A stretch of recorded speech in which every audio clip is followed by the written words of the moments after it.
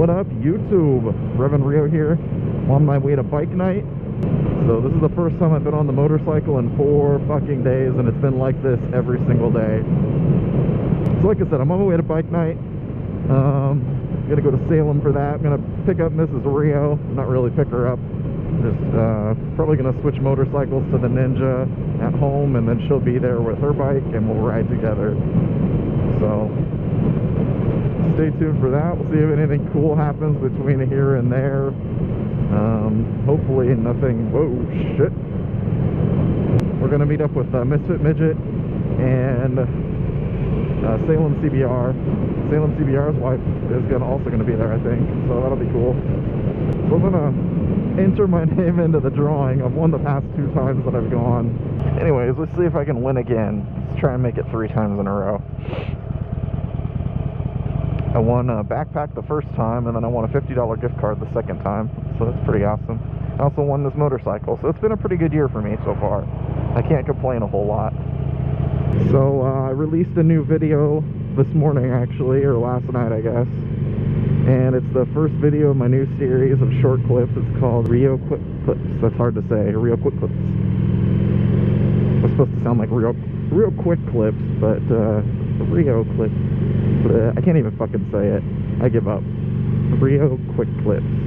Anyways, yeah, I hope you guys enjoyed that. I'll be doing a bunch of those. Another cool thing, I guess, is I have 191 subscribers now. That's fucking awesome. Almost to 200. I can't even believe it. Like, seriously. I can't believe you guys watch this. Like, what are you thinking? What are you doing with your life? No, just kidding. Um, I'm glad you enjoy it. Let me know if you guys want to see anything new or anything in, uh, in particular. Uh, I'm gonna do a review on the Harley once I hit 500 miles on it after I do the uh, the first service. And I'm also planning on doing a review on the Ninja, but or on the ZX6R, but it's a few years old now, so I don't know how useful it would be to anybody. Um, let me know if you guys want to see that. I guess something else new. I got a new jacket. I got a leather jacket. Finally came in the mail.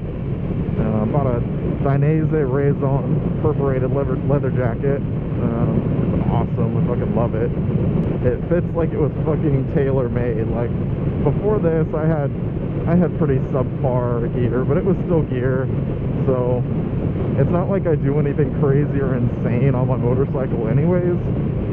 So it was mostly just to protect me from like if a car fucking pulled out and hit me. It would keep my skin safe from the concrete for the most part. Uh, it's not like I'm gonna fall at 170 miles an hour and fucking slide across the ground and have to get skin grafts and shit. But yeah, now I feel definitely a lot safer with this than I felt with my other two. Uh, my first jacket that I bought before I even had a motorcycle, um, so I could do like the motorcycle safety course and stuff, was a, it's a shift. They don't even make street gear anymore. It was on closeout at like motorcyclesuperstore.com. Got it for like 50 bucks. Are you fucking joking me? So, quick complaint number one about Harley 48. Why did they only put a two gallon tank on this? It makes the bike look really nice and it stylizes really well, but it's totally impractical. Like, I only got 60 miles out of that last tank, which is fucking retarded. So I'm gonna have to stop in Newberg, hopefully if I can make it there, and uh, refill. So that's my biggest gripe about this bike, and it's probably gonna be the reason uh, I end up getting rid of it, because I don't, I don't tootle around town. I go out and I ride. So, um, that's definitely gonna be a deciding factor with this bike. Anyways, what was I talking about? Oh yeah, gear. So I had that shift jacket first. That's actually the perforated jacket that I wear. It's nice and ventilated. It's made of like a mesh kind of textile type jacket. It's got CE armor in the shoulders and in the forearms. And then it has uh, like a back protector in it. So it's it's not half bad. it would save me from a lot of like slower slower speed crashes or smaller impacts I suppose is how I should say it. Um, but yeah it wouldn't be like a good track jacket or anything like that. And it would definitely suck if I was wearing that and I went down super hard on the highway or something. Uh, my second jacket was a Bilt uh, I know a lot of people give Bilt shit but while it is kind of subpar and crappy some of their stuff. There are things of theirs that you can find that are pretty quality. Um, I bought it's called the custom built jacket or something like that. And it's actually super heavy duty. It's a textile jacket too. Um, but it's super thick. I, I have no doubts that it would save me if I went down at highway speeds. It also had the built-in CE armor in the shoulders and in the forearms it didn't have a back protector in it uh, but it does have a slot for one. And it has a removable liner so it's pretty good for the uh, the winter and the fall. And it's also good for spring and summer. It has vents and shit that open up. Hi Matt the Ninja. He lives here somewhere. I'm saying hello. Why aren't you fucking saying hello back you rude piece of shit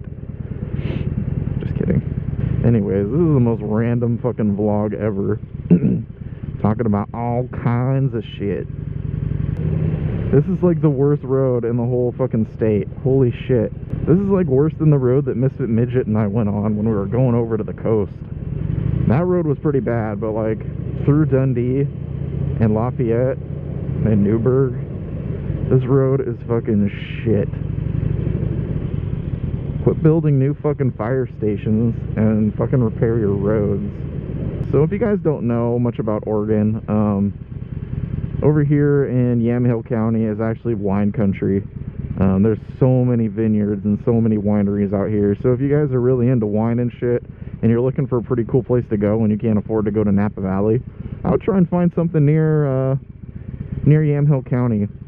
And you will never run out of places to go taste wine, I swear. A new one opens every fucking day. Going to bike night. I wonder if he's going to be there. He didn't say anything on Instagram in our chat. So, I've been looking at other motorcycles since I'm not sure if I'm going to keep this one. And the one that really stands out to me is the FZ09. Um, it just looks like the funnest fucking motorcycle in the world. So I'm thinking about uh, buying one of those if I decide to sell this for sure. And I'm also looking at getting a Z125 because I know, well, I know for a fact that they're actually in Oregon and Washington now. Uh, there's been a couple posted up online to come and check out. So me and uh, Misfit Midget, we're gonna go and ride some next weekend, and we're gonna put up a, a video if the weather's permitting, of course. All right, gas. Don't forget gas. The fucking gas light is like this little itty bitty fucking light. And so it doesn't, it's not like it flashes, like my Ninja flashes at me and tells me, bitch, you better get gas. Or you're gonna be stranded on the side of the road sucking some tips for a ride. And I'm like, bitch, I ain't gonna do that. Alright. Put your shirt down.